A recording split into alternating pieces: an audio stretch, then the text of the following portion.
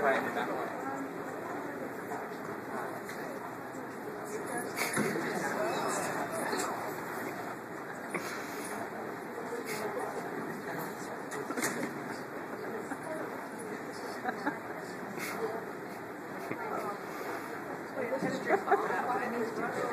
got hot face because he left and I couldn't figure out why.